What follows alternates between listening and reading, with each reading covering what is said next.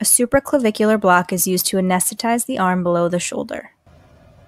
This block targets the distal trunks and the origins of the divisions of the brachial plexus.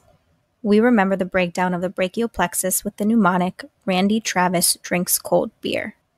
The basic setup for a supraclavicular block includes a 5 cm 22 gauge short bevel insulated needle, sterile towels, gauze, two 20 ml syringes for local anesthetic, extension tubing, a 3 ml syringe and a 25 gauge needle for local anesthetic skin wheal administration, sterile gloves, aseptic cleansing solution, and a peripheral nerve stimulator or an ultrasound with a sterile probe cover and jelly. Below is a basic overview of the steps needed to perform a supraclavicular block. Place the patient in the supine position with the head slightly elevated. Have the patient drop their shoulder and turn their head away from the side the block will be administered on for optimal access and visualization. A pillow may be placed between the scapulae for help with visualization.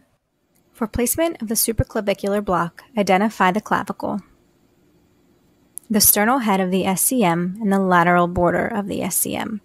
1 to 2 centimeters lateral to the lower lateral border of the SCM, palpate for the subclavian artery. Another 1 to 2 centimeters lateral to the subclavian artery, and 1 centimeter above the clavicle will be your target at the level of trunks and divisions of the brachial plexus.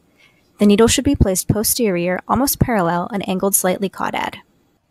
If using the ultrasound technique, position the transducer at the center of the clavicle and directed slightly caudad.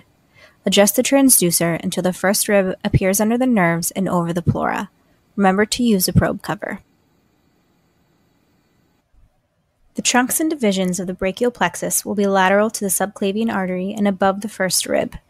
When inserting the needle, avoid intravascular injection into the artery next to the plexus, and avoid causing a pneumothorax, as the pleura is immediately inferior to the first rib.